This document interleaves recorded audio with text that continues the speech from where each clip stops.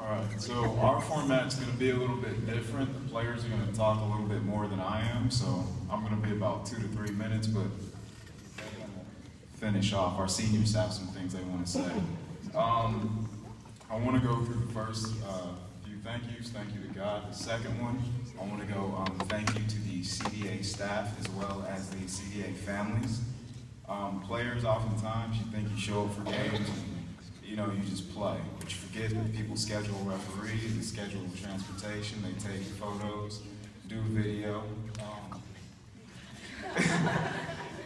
drive buses, and all these other things for us. And, you know, thank y'all for that. It takes a village, really, to, you know, go through a season with the team. And thankfully this year I had a great village, so I want to thank y'all for that. Third thing I want to do is thank my team. Um, although we didn't make the playoffs or win a championship, they did have. Why do y'all laugh for that? anyway, they did have playoff and championship character, and I appreciate that. Um, so now on the award side, first one I'm going to give out is our Lion Award. Um, Bailey Hicks is our Lion Award winner.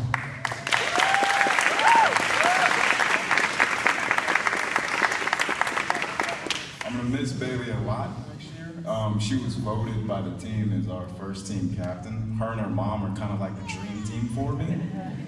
I will be taking resumes for next year's team. Who's gonna fill those shoes? Um, our next award that I'm gonna give out is for offensive MVP, and it's uh, Piper Brattenberger.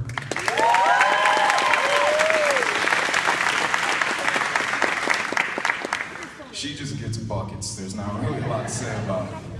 Love her to death. Yes, Gucci. I love her. Um, our next award is going to go to the defensive MVP, which is Lauren Moses.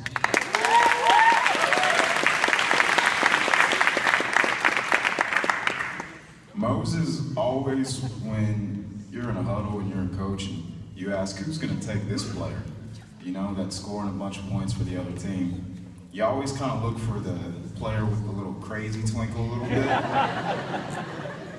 and every time she get the crazy twinkle, I got him, coach. You're like, you sure? Yeah. so that was Moses, loving that. So the next award I'm going to give out is to our uh, most improved, and it's Isabella Bierman.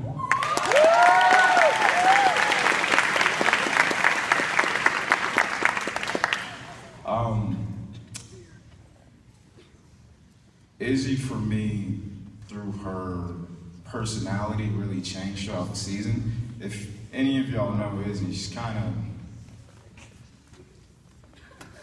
I, don't know, we, we call her the mother of our team. I mean, she's aggressive, doesn't come to mind all the time. But the, the beautiful thing about the course of the season was she stopped apologizing for maybe, you know, playing aggressively and other things, but really just got after it.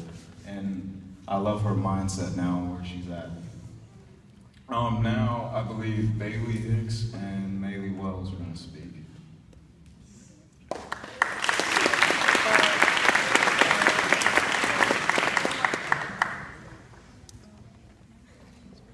So, after last year, after my junior year, I honestly seriously considered quitting basketball this year because I just wasn't enjoying basketball as much as I had when I was younger.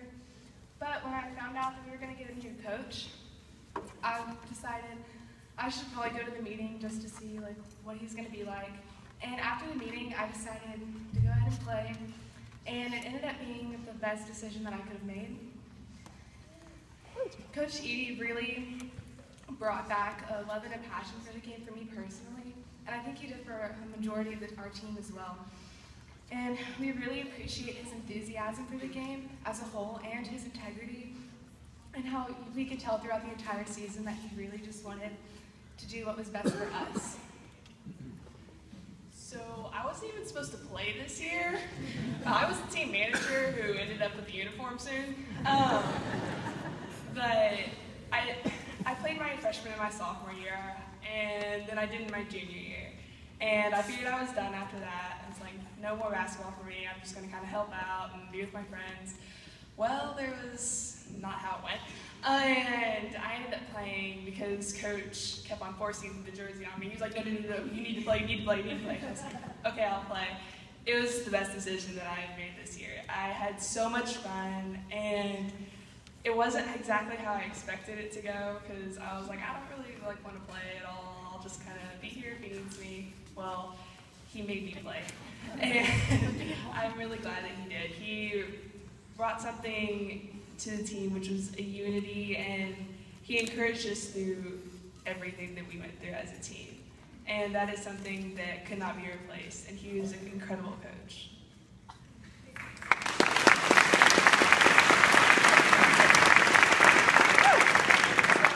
Our team was mostly made up of seniors. Six of us are seniors, but there are four players that will be playing again next year.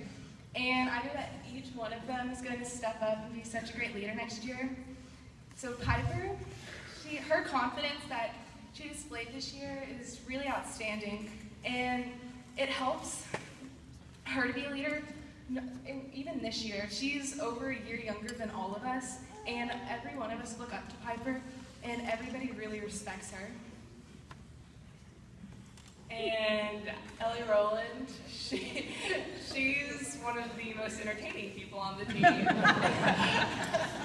but more than that, you know that no matter what, she's gonna play selflessly. Whenever the team, like whenever we'd be playing, something rough would happen or something wasn't going the way it was supposed to, Ellie would be like, I wanna go in, I wanna play, I wanna play, I wanna play.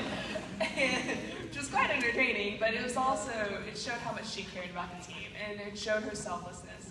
And it was really, really great to watch her. Oh yeah, and I have more too.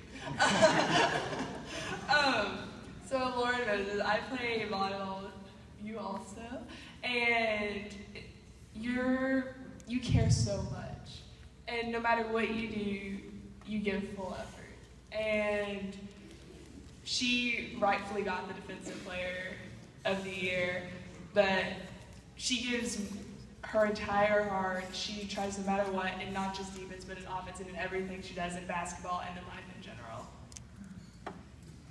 Last is Haley. Haley, I've played with for a really long time, and Haley's been one of my best friends for several years now. But what's really inspiring about Haley is how she's able to hold other people accountable and to, for the betterment of the team. But also, she's really good about taking us holding her accountable as well.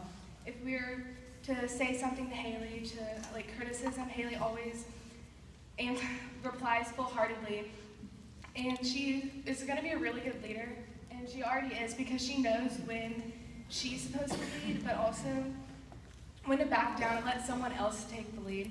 That's something that's really good about Haley and how she's going to be a great leader. So for you eighth graders that are going to be in high school next year, you're going to have a really great group of upperclassmen to lead you, but also a really great coach to coach you, not only as a player, but also as a person.